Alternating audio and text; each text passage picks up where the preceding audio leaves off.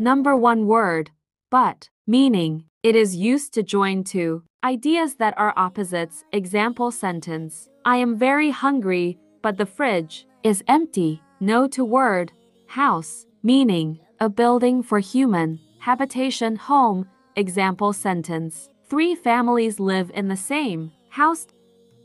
NO3 word learn, meaning, find out information. Example sentence I have to learn English. No 4 word small, meaning, of amount that is less than normal. Example sentence Rabbit is a small animal. No 5 word appear, meaning, come out. Example sentence Please read them if they appear.